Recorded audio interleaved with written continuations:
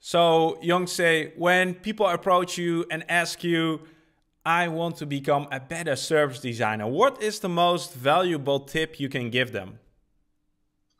Okay, so usually, I mean, the, a lot of my uh, students in our the service design uh, master degree program have that kind of a question mm-hmm. uh, when they uh, start uh, uh, joining the school, and for th- those people are relatively, I mean, the the novice service designers.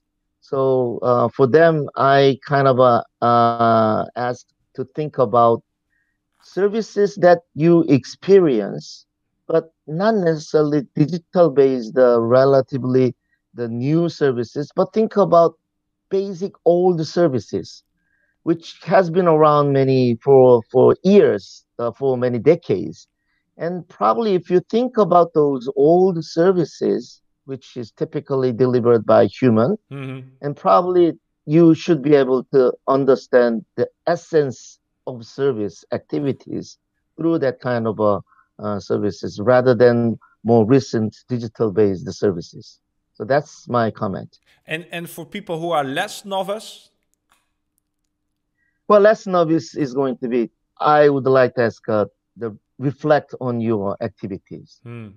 and and kind of a uh, uh, the I don't know. I mean, the again, the my background is uh, I'm more like a service design researcher, mm-hmm. okay, developing the new methodology, and we are interested in accumulating the knowledge of this. So reflect and then the pile up your uh, knowledge, and this could be used in your next activities. So that is uh, uh, my advice. Thank you.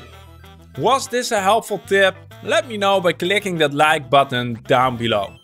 If this is your first time here, I'd love to have you to subscribe to the channel so we can keep bringing you more videos like this.